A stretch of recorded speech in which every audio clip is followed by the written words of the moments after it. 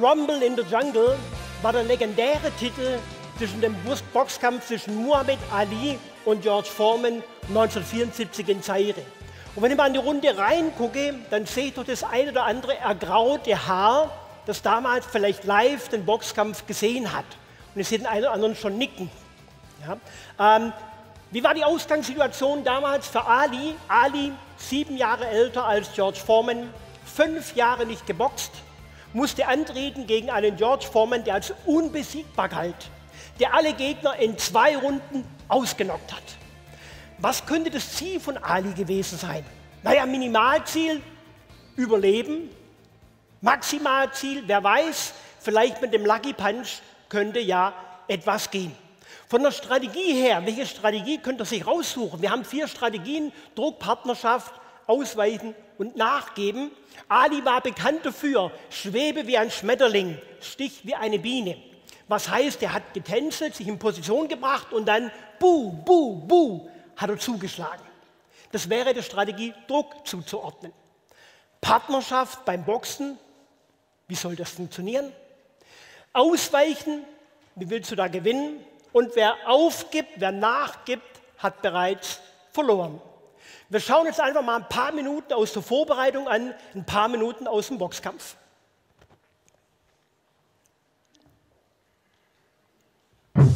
Young, I'm handsome, I'm fast, I'm pretty, and can't possibly be beat. It is befitting that I leave the game just like I came in, beating a big bad monster who knocks out everybody and no one can whoop him. Been chopping trees. I done something new for this fight. Only last week, I murdered a rock, injured a stone, hospitalized a brick. I'm so mean, I make medicine sick. Wenn wir uns hier mal das Gesicht von Ali anschauen ja, und einfach mal sehen, was der für ein Leuchten im Gesicht hat. Ja, was wir hier erleben, das ist von der Metaebene aus, das heißt eine ganz bewusste Ali-Show, die er abzieht. Und gegenüber George Foreman, welche Strategie? Er macht hier verbal Druck. Dude, bad, fast, fast, fast. Last night I cut the light off in my bedroom, hit the switch, was in the bed before the room was dark. Incredible. Fast. Hell, I think Ollie was scared. I think he was scared even then. And he knew he was going to be very scared as he got closer and closer to the fight. With his ego, he could keep telling himself that he would dominate Foreman, that he would beat him, that he would dance, that he would make a fool of him, that he would show him superior boxing, that Foreman would never lay a glove on him. But in fact, in his sleep or wherever his private moment came, he had to know that he had not done nearly as well against two fighters, particularly Joe Fraser and Ken Norton, whom Foreman had demolished. Down goes Fraser! This chump has got everybody scared. Scared of what? Nothing to be scared of. Wenn wir hier mal schauen und interpretieren die Emotion in Alis Gesicht, was für eine Emotion kann man hier deutlich sehen? Es ist Angst. Dem ist die nackte Angst ins Gesicht geschrieben. Und was er hier abzieht, ist nichts anderes wie Pfeifen im dunklen Walde, sich selbst Mut zuzusprechen. Time may have come to say goodbye to Muhammad Ali because, very honestly, I don't think he can beat George Foreman. Maybe he can pull off a miracle.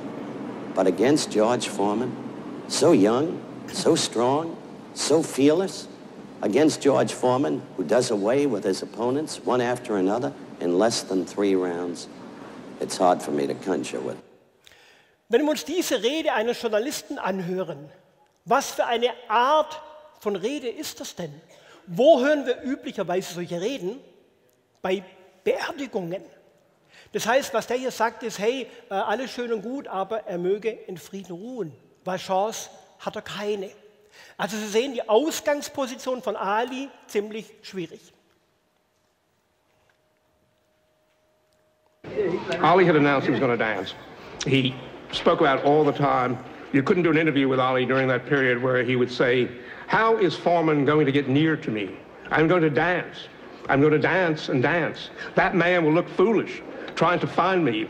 And as he gropes his way forward in this storm of blindness at the speed of my dancing, I will strike him with my jab. Pooh, pooh, pooh, he would go, and so forth. We heard this over and over and over, and Foreman heard it too. Und Foreman hörte es auch. Welche Strategie, welche Taktiken gibt Ali bei jeder Gelegenheit bekannt? Er sagt, von der Strategie her werde ich Druck machen. Und zwar mit folgenden zwei Taktiken. Nummer eins, tänzeln, sich in Position bringen. Und Nummer zwei, buh, buh, buh, schlagen, schlagen, schlagen. Das kommuniziert Ali bei jeder Gelegenheit. Und logischerweise kam diese Message auch bei George Foreman an. Jetzt schauen wir doch mal, welche Strategie, welche Taktiken George Foreman vorbereitet. Foreman hitting the heavy bag is one of the uh, more prodigious sights I've had in my life. It seems to me that of all the people I've seen hitting heavy bags, including Sonny Liston, no one ever hit it the way Foreman did. Foreman was working now on what's called cutting off the ring. Now, cutting off the ring essentially just means cornering your opponent against the ropes or in a corner. He worked with very fast fighters, smaller than himself, who certainly could dance, and he worked on cornering them, and he was very good. And we'd watch this. And the combination of hitting the heavy bag and watching Foreman cut off the ring made most of the fight writers, myself included, terribly pessimistic about Ali's chances. Welche Strategie, welche Taktiken bereitet George Foreman vor? Von der Strategie, Sie erinnern sich, Druck, Partnerschaft, Ausweichen, Nachgeben, ist es nach wie vor Druck, den er hier einübt. Von der Strategie sind zwei Strategien. Die erste ist Cornering. Und das übt er mit kleinen, wendigen Boxern. Ali-ähnlichen Boxern, die gut tanzen konnten. Und das Zweite, was er übt, ist 15 Minuten auf den größten Sandsack draufhauen, den er zur Verfügung hat. Warum wählt er diese Strategie? Warum wählt er diese zwei Taktiken?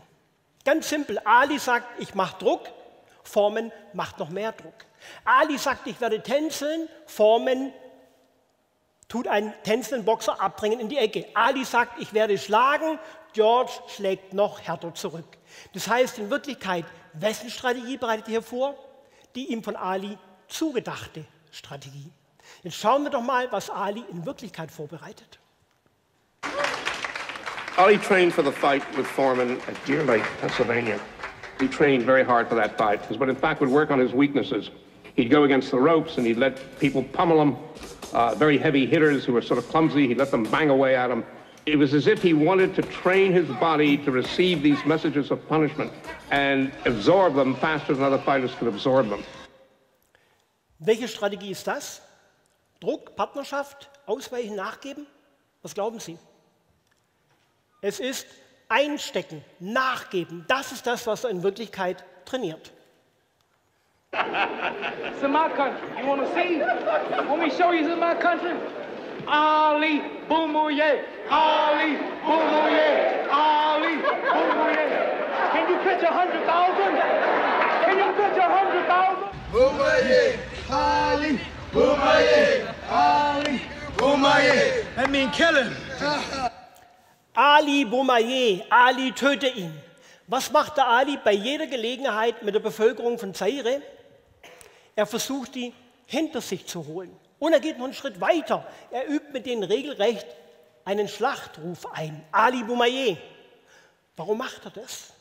Ganz simpel, es werden nachher 100.000 um den Ring sitzen beim Boxkampf und besser die schreien Ali Boumaier als George Boumaier. Übrigens am Rande erwähnt, natürlich haben die Kinder auch geschrien, George Boumaier, George töte ihn. Ja, aber Foreman hat gesagt, hey, das will ich nicht, lass das lieber bleiben. Die Leute sollen lieber sagen, George ist ein netter Mensch, George liebt es in Afrika zu sein, aber nicht George töte ihn, I don't like it. Eine typische Einstellung eines Monopolisten. Was interessiert mich das drumherum? Es kommt nur auf mich und meine Argumente an. Ali ready, Foreman ready. We're waiting for the opening bell. Here we go. Ali quickly across the round. Round one. Ali bouncing around, shifting left for right. George moves slow. Ali gets the first punch in. A light right hand taken on the forehead by George Foreman, the champ. Dances now. Moves Ali with a right hand lead again. As Foreman slightly confused with that right hand lead, which I haven't seen too many times before. Ali. A right hand lead, which means that you throw your right without countering. Uh, you throw it first. You throw it like a jab, but you throw it like there. That has to travel that extra distance across the shoulders. Professionals will very rarely use a right hand lead because it's a terribly dangerous punch to throw since you are open to a counter with a left hook. And fighters, since you, they work in milliseconds, uh, can see a right coming much faster than a jab. Nobody has thrown a right hand lead at Foreman in two years at him because it's a great insult to a top professional when you throw a right hand lead at him. It suggests that he's slow enough that you can hit him. Welche Strategie wendet Ali in Runde 1 an? Er macht Druck. Mit was für einer Taktik? Die Taktik ist ein Right Hand Leave, ein Überraschungsschlag, ein Schlag, den Profiboxer nie anwenden würden. Welches Ziel verfolgt er damit? Was? Ich habe vergessen zu erwähnen, wenn ich Fragen stelle, dürfen Sie durchaus antworten. Ja, sonst, mir hat mir gesagt, 45 Minuten nicht länger, aber ich bin nicht sicher, ob ich es dann schaffe. Also ich brauche Ihre Mithilfe. Ja, so, was er natürlich damit erreichen kann, Provokation, Beleidigung, den zu demotivieren, einverstanden als Minimalziel. Hey, wir sprechen über Boxen. Was könnte das Maximalziel sein? Den mit einem Lucky Punch K.O. zu schlagen. Was gäbe es denn Cooleres, als dass der amtierende Weltmeister von einem Boxopa mit einer riesen Klappe mit dem Anfängerschlag auf die Bretter gestreckt wird. Jetzt überlegen Sie mal, Sie sind George Foreman, amtierender Weltmeister, treten an hier gegen einen mit einer riesen Klappe und der schenkt Ihnen so einen Anfängerschlag ein. Was denkst du da? Verflucht und zugenäht, was war denn das? Und während er noch innerlich flucht, fängt er sich den nächsten ein. Ali hat in Runde 1 zwölfmal diesen Anfängerschlag angesetzt und durchgezogen. Alle 20 Sekunden hat George Foreman sich das Ding eingefangen. Ja. Was passiert dann mit deinem Bauch? Der fängt an zu brodeln, zu kochen. So, wenn jetzt so ein Boxer mit Wut boxt, was heißt denn das für die Wucht der Schläge? Die geht hoch. Was heißt aber auch für die Genauigkeit der Schläge? Die lässt nach. Das heißt, die Chancen, getroffen zu werden, die sinken. Das Risiko sinkt. And the only thing is, he didn't knock Foreman down and he didn't knock him out. Instead, Foreman went crazy. Bell rang. Was ganz interessant ist, ja, wir reden in der Verhandlungsführung gerne über die sogenannte Metaebene, eine unemotionale Ebene, eine Art Vogelperspektive, von der wir Dinge betrachten und analysieren. Wer ist denn die Metaebene des Boxers? Der Coach. Und der Boxer hat die interessante Konstellation, der geht alle drei Minuten seiner Metaebene, kriegt er Feedback, geht wieder rein, setzt es entsprechend um. Schauen wir mal, wie Muhammad Ali das macht, schauen wir mal, wie Foreman das macht. Ali went back to the corner. He finally, the nightmare he'd been awaiting in the ring had finally come to visit him. He was in the ring with a man Und hier sehr schön zu sehen, George Foreman sitzt da und drei Mann sprechen auf ihn ein. Er ist reiner Empfänger und drei Leute denken für ihn. Man, he could not dominate, who was stronger than him, who was not afraid of him, who was going to try to knock him out, and who punched harder than Ali could punch. And this man was determined and unstoppable. And Ali had Und bei Ali schön zu sehen, der steht für sich alleine da. Ich wage mal die Behauptung, sieben Jahre älter, sieben Jahre mehr Erfahrung, ein sehr intelligenter Boxer, der hat keinen Coach gebraucht. Der war selbst auf der Metaebene und hat Runde 1 analysiert. So, wie lief denn die Runde 1? Gut oder schlecht? Jetzt, nachdem Sie nicht so gerne antworten, machen wir es mal so. Wer der Meinung ist, es lief gut, vorsichtiges Nicken reicht mir schon. Ja? Als ich sehe viele nicken, heißt, er kann so weitermachen? Jetzt schüttelt er den Kopf. Warum nicht? Es fehlt jetzt der Überraschungseffekt, der wurde jetzt darauf eingestellt. Von der Logik her, wenn du mit Strategie 1 durch bist, hast dein Ziel aber noch nicht erreicht. Solltest du was tun? Wechsel auf Strategie 2. Was hat er vorbereitet? Welche Strategie? Einstecken. Was heißt denn das jetzt für den Ali für die nächsten Runden? Das wird wehtun. Dazu kommt, das ist George Foreman. Jetzt schauen wir mal, was Ali tut. face that I'll never forget, as if he looked into himself and said, all right, this is the moment. Of nodded to himself like, you got to get it together, boy. You really got to get it together. and you are going to get it together. You will get it together. Selbstmotivation, ich krieg das hin, ja. Hey, aber es ist immer noch George Foreman. Sie haben vorher gesehen, wie der zuschlagen kann mit dem Sandsack. You will get it together. And then he turned to the crowd and he went, Ali Beaumelier. And 100,000 people all yelled back, Ali Beaumelier. Und 100.000 riefen zurück, Ali Boumaier. Was wäre denn passiert, wenn der Ali nicht zwei Monate lang bei jeder Gelegenheit mit den Leuten das geübt hätte? Was wäre passiert, wenn er einfach nur so gemacht hätte? Nichts.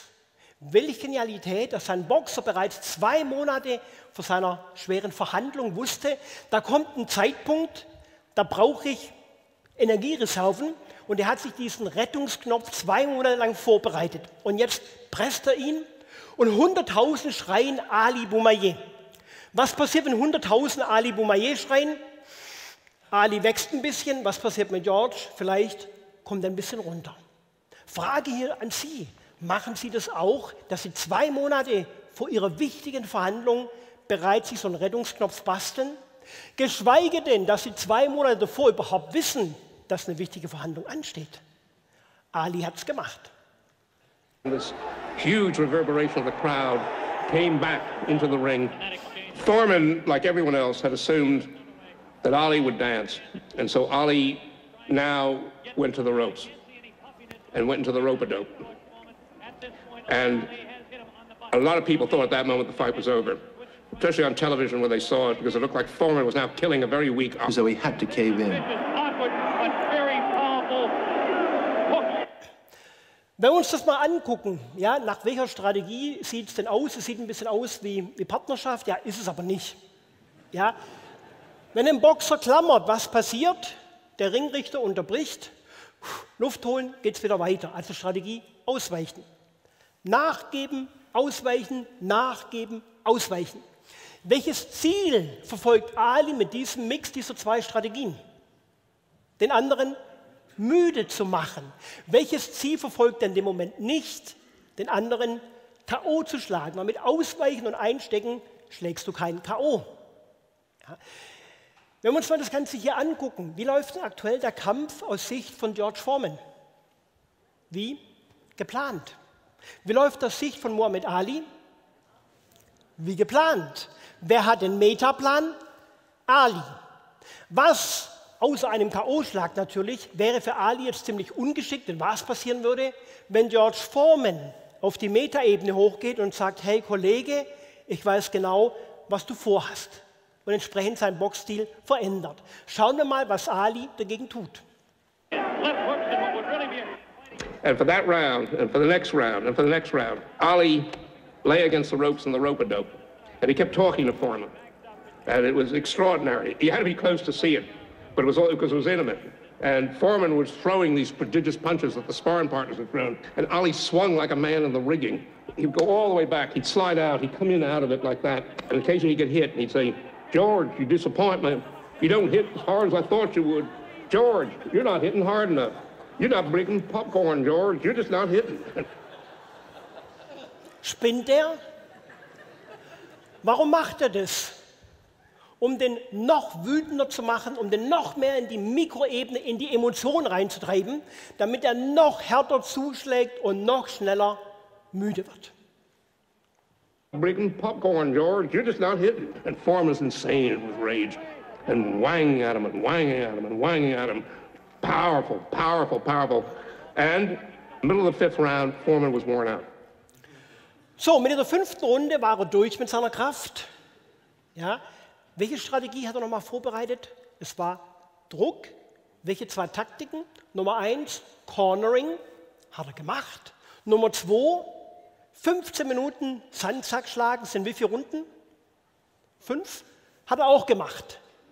Das Dumme ist, der Ali steht noch. Von der Logik her, wenn du mit Strategie 1 durch bist, hast dein Ziel aber noch nicht erreicht, solltest du was tun? Wechsel auf Strategie 2. Wenn du eine hast.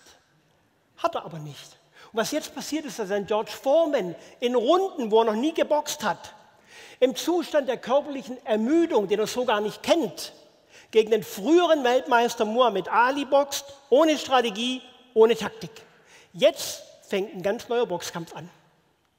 Ali picks up a little bit, about 40 seconds left in round number five. Good twist left, the combination by Ali. Und man sieht, dass Ali die Deckung gar nicht mehr oben hat und schon wieder schlägt. Und Foreman rudert wie ein Hund beim Schwimmen. Suddenly, Muhammad Ali came off the ropes and he hit him a right, and you could see the sweat just pour off, just like a fountain come off Foreman's face, and you suddenly realized there was some design in this madness. Und plötzlich wurde klar, dass der Wahnsinn Methode hatte. Heißt übersetzt in die Verhandlungssprache war es, dahinter steckt eine Strategie und Taktiken.